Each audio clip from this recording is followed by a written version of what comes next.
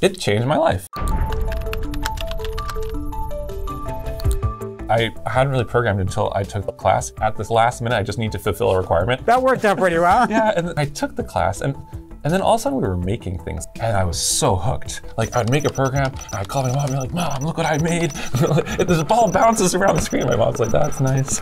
And I thought, you know, I'll just take one more class. and that was like decades and later. Then another and another. Many years ago, I learned about what coding really meant. I'd done a little bit of it on my own to try to teach myself, and I wasn't very good, to be honest. But when I actually took a class and had things laid out for me in a systematic manner, it really unlocked the power of computing for me. It's not just about writing programs, but it's about clarifying your own thinking in some respect.